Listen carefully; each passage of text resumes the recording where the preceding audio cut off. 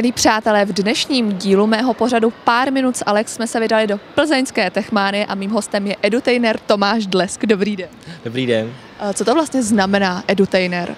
Tak edutainer je vlastně složenina dvou slov, education a entertainment a znamená to, že jsem v podstatě takový lektor, který má děti, ale nejen děti, naučit něco, ale hlavně tou zábavnou formou. Tomáš Dlesk původně vystudoval Plzeňskou pedagogickou fakultu obor informatika a biologie. K práci v Techmány se dostal právě díky studiu na Západočeské univerzitě. Techmánia kdy se scháněla právě brigádníky a rozesílala e-maily a právě protože vlastně univerzita spolupracuje s Techmánií, tak posílali e-maily i nám a díky tomu jsem potom vlastně odpověděl na e-mail a dostal jsem se potom sem, stal jsem se tady vlastně brigádníkem a potom, když jsem dodělal školu, tak jsem tady zůstal pracovat dál, už potom nastál na hlavní pracovní poměr. Protože jsem vlastně vystudovaný učitel, tak pro mě tohle je ideální kombinace toho zároveň částečně učit, ale zároveň i bavit ty děti a má to obrovskou výhodu oproti škole, kdy vlastně ve škole vidíte každý den pořád ty samé děti, tady já vidím každý den jiný děti, takže když se mi ty děti nelíbí nebo já se jim nelíbím, tak mě to v podstatě úplně tolik netrápí, protože vím, že zítra už se uvidím zase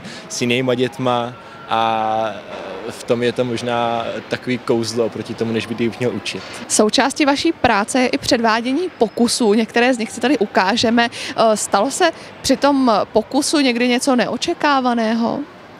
My jsme vlastně jednou s kolegou eh, byli dělat show někde jinde mimo Techmány a tam teda, protože vlastně jsme prováděli show s tekutým dusíkem, která je prostorově občas trošku náročnější, tak jsme museli některé ty pokusy malinko upravit, tak abychom se vešli do těch tamních prostor.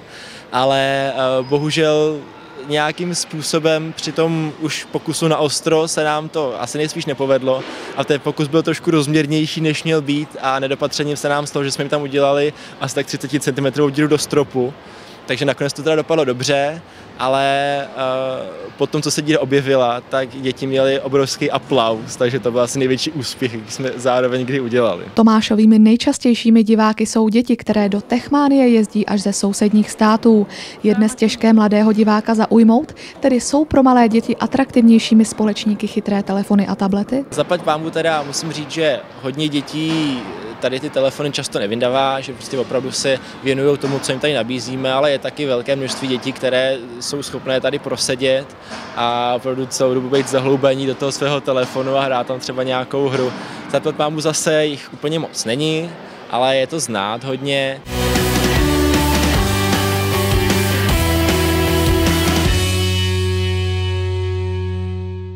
Jaké jsou stinné stránky práce pro techmány? Stává se třeba někdy, že musíte hlídat objekty, že lidé třeba kradou? Každá vlastně práce s lidmi tak sebou přináší obrovská rizika. Osobně jsem jako student měl třeba brigádu eh, na kase a tam vlastně člověk s lidmi přichází pořád do kontaktu, tady je to ještě dvojnásob a eh, vždycky tady je prostě riziko to, že ty lidi doufám, že většinou teda omylem něco třeba poškodí, něco třeba rozbijou Často se stane třeba zrovna v expozici pro malé děti, že tam chodí i starší děti, takže potom musím vysvětlovat, že zase třeba z bezpečnostního hlediska tak není potom vhodný, aby tam skákalo malé dítě, vedle něj skákal třeba 15-letý kluk, zase tam potom hrozí třeba riziko nějakého úrazu. Co děláte ve svém volném čase? Jaké máte koníčky?